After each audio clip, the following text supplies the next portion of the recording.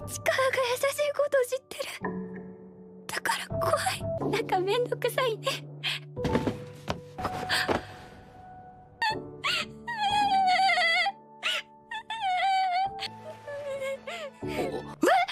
どうした？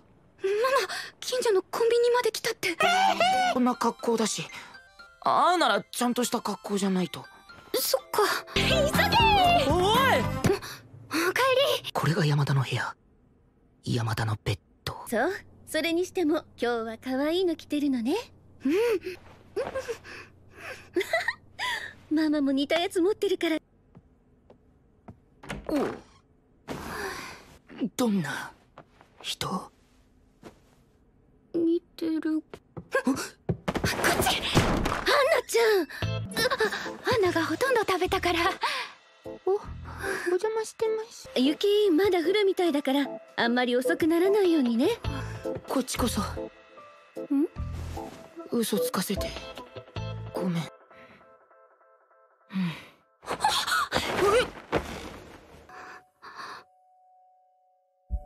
いいつかのお返しママに初めて隠し事したけど。もう大人だし。